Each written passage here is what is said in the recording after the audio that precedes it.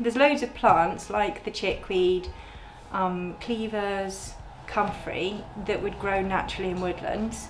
And then if you planted things like chamomile and calendula on the borders and around woodlands, you've basically got your instant apothecary. Um, you can make creams, uh, you could do oil, just the straight oils. You don't even need to make a cream. You could do a comfrey oil, um, comfrey and plantain oil, which all you'd have to do is get the herb, put it in oil, leave it for a couple of months, and you've got an oil that will heal uh, cuts.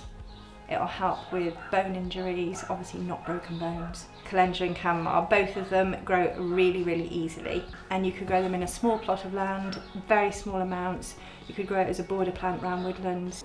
So the really important rules about drying is that it is in a fairly light, sunlight-free place. You know, an old barn, a shed, but there has to be ventilation. So, today's harvest is going on the drying rack. These will take on in the summer about five days. Spread everything out because it gives it more opportunity to dry. And these big flower heads do hold a lot of moisture. It goes.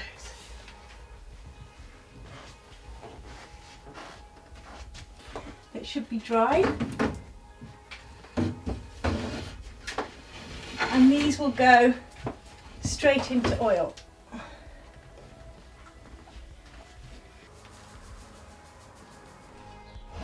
So this is the calendula that we've got that's dried. Um, you could any any dried flower you can use, chamomile, lavender, comfrey, whatever you are making.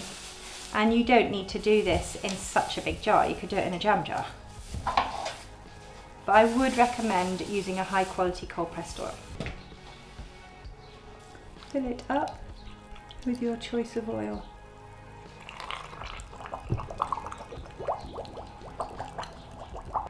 And if you're making it at home, you literally need an old jam jar on your kitchen windowsill, the sunniest windowsill.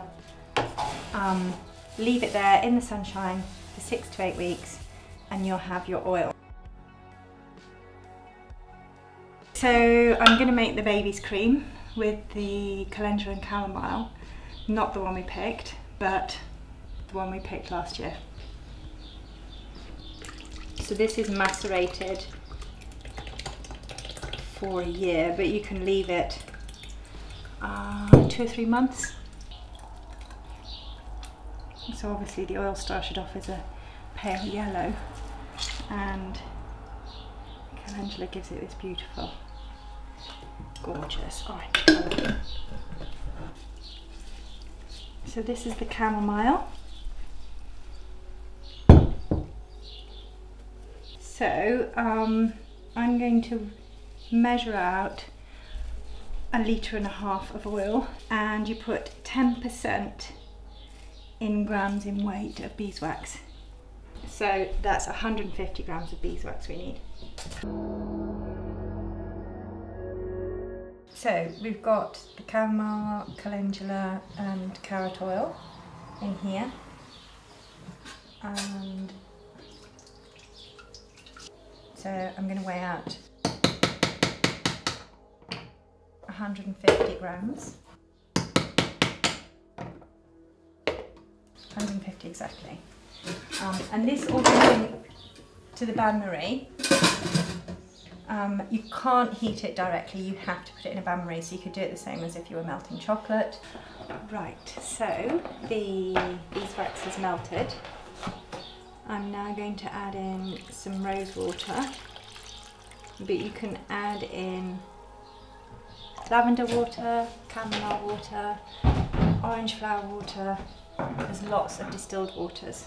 And this is a pretty simple way of making a cream. So I don't like to use emulsifiers. So the beeswax here is acting as a really gentle emulsifier.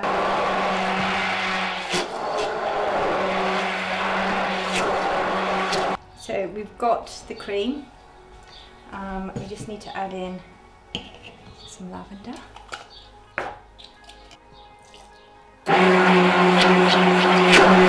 And now we're going to pour it.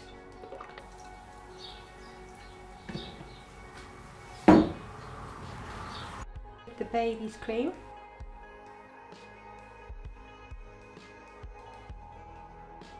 It doesn't really what, matter what size jars you use, but it's really important if you're making things with herbs to use a dark glass.